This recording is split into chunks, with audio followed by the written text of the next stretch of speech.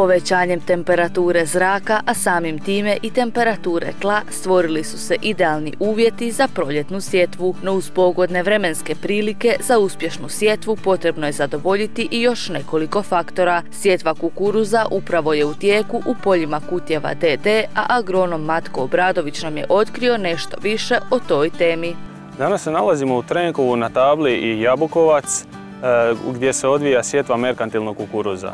Sjetvu merkantilnog kukuruza obavljamo na pogonu ovčare na nekakvih 350 hektara, a sama sjetva odvije se nekakvih 15 do 20 dana. Optimalni uvjeti sjetve merkantilnog kukuruza obavljaju se kada se temperatura tla na dubini od 5 cm ustali na 8 do 10 stupnjeva Celzijusa. To je optimalan trenutak sjetve. Pored temperature tla e, značajno nam je još i vlaga tla koja nam e, govori na koju ćemo zapravo dubinu i sijati taj kukuruz. E, optimalna nekakva dubina sjetve je od 5 do 6 cm. Uz pogodnu temperaturu tla vrlo je važno to tlo na vrijeme adekvatno pripremiti za proljeće, ali i sijati kukuruz u skladu s grupom kojoj pripada. Prije same sjetve odradili smo znači dubinsku obradu tla, to jest osnovnu obradu tla u jesen, e, gdje smo odradili oranje zimske brazde, pri čemu je odrađena i osnovna gnojidba. Nakon e, same zimske brazde, u proljeće smo zatvorili tu zimsku brazdu kako bismo sačuvali E, potrebnu vlagu u tlu, te smo pristupili dopunskoj gnojidbi sa gnojivom ureja. Nakon toga smo svjetvospremačem pripremili i finalizirali finalnu pripremu tla i finalizirali tu obradu za samu sjetvu. Sjetva kukuruza obavlja se ovisno o FAO grupama kukuruza koji se kreću u rasponu od 300 do 600.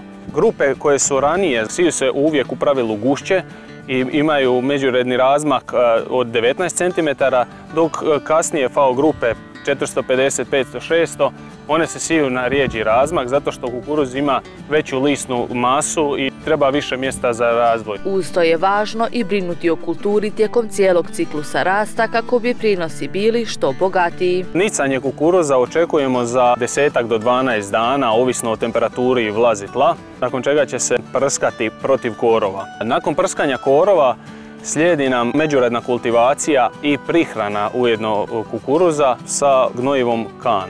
Nakon toga obavlja se druga kultivacija kukuruza i ostavlja se kukuruz da raste sve do žetve.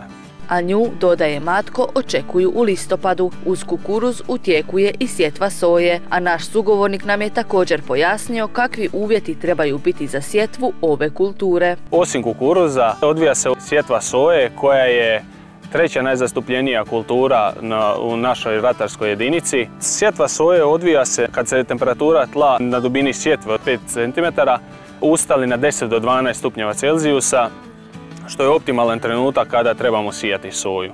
Sjetva soje i sklop soje određuje se nešto slično kao i kukuruz prema grupama zriobe koje se kreću od 3 nule, 2 nule, 1 nule i grupe 1 i 2. Priprema tla obavlja se što finije kako bismo prilikom žetve mogli pokupiti što veći broj mahuna i kako bi se spriječio rasip zrna po tlu.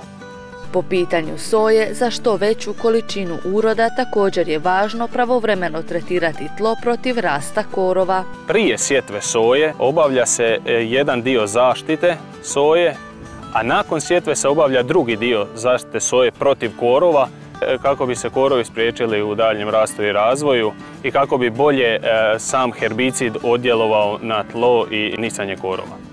Iako se možda na prvu ne čini tako, sjetva i priprema za nju su vrlo kompleksne radnje, a pravilnom brigom u kulturi tijekom njenog ciklusa rasta možete si osigurati odličan urod.